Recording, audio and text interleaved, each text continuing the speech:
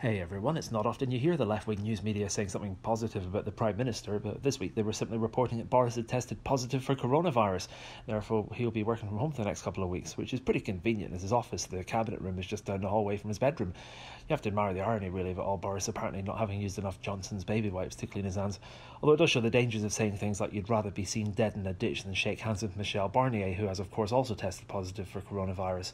Mars certainly plays no regard for class or wealth or position. You know, Prince Charles also tested positive this week, and seeing as the coronavirus derives its name from the Latin word for crown, you have to wonder whether this will be the closest Charles is going to get to a crown. Nonetheless, as with the Prime Minister, he's going to be working from home too, although I use the word working in the very loosest possible sense, unless he's planning to get his staff to put ribbons around the doors of the palace for to cut open as he moves about the place. Elsewhere, what's been going on though? Well, Russia announced their first coronavirus death, a man presumably by the name of Ivor Chestikov. The man was also put on trial for stealing toilet paper, and when asked by the judge how he pleaded, he said, not quilty. Oh dear, it appears as if I'm trapped in the midst of a pandemic. Pandemic, get it?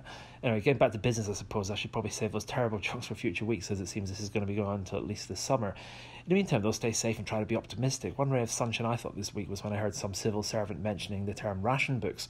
And I thought, isn't it wonderful that in spite of the internet and dumbing down a society, people are still reading enough books that they're going to have to start rationing the things? Anyway, see you next week. Let these click subscribe.